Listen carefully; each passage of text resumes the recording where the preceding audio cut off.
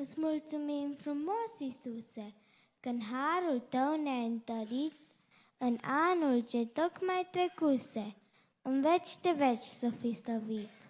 Îți mulțumim că totdeauna în greutăți te-ai implicat, ai fost cu noi în toate, una, singur deloc nu ne-a lăsat. Când cei din jur au vrut cu ură să ne doboare, tu ne-ai pus cântări de laudă în gură și întristările s-au dus. În clipele de frământare, tu ne-ai umplut cu pacea ta și multă binecuvântare ne-ai dat când lipsa ne încolțea.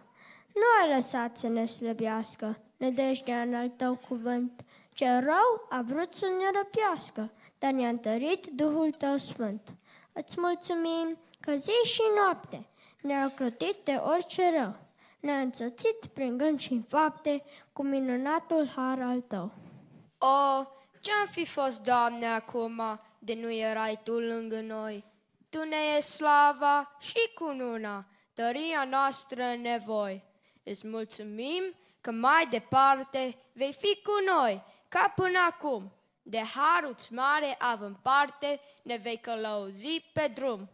Da, pentru toate, Sfinte Tată, îți suntem recunoscători, dorind să-ți mulțumim odată și în rai sus dincolo de nor.